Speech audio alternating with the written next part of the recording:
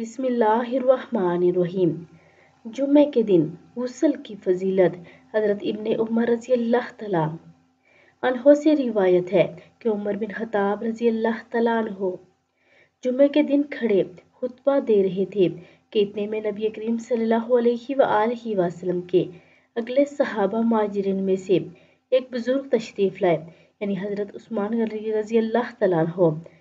عمر رضی اللہ تعالیٰ عنہ نے ان سے کہا